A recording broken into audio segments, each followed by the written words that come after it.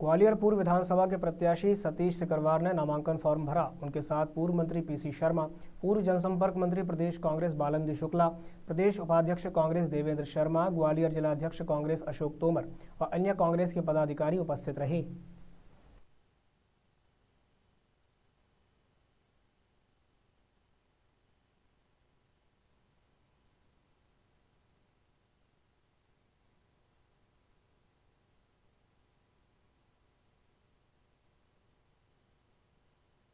ग्वालियर चंबल संभाग में ग्वालियर चंबल संभाग की जनता स्वाभिमानी है और जिस तरह से स्वाभिमान को ठेस पहुंचाई है इन विधायकों ने।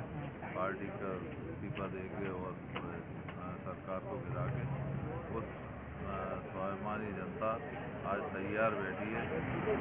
इनको पूरी का गुना रख के वापस करने के लिए। और ये निश्चित मान लेना कि पूरे हमारे इस अंचल की सारी सीटें कांग्रेस जीत रही है और अच्छे मतों से।